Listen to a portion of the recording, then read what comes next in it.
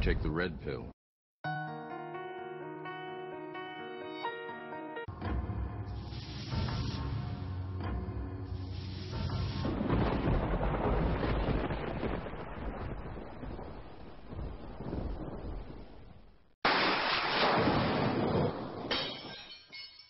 This is your last chance.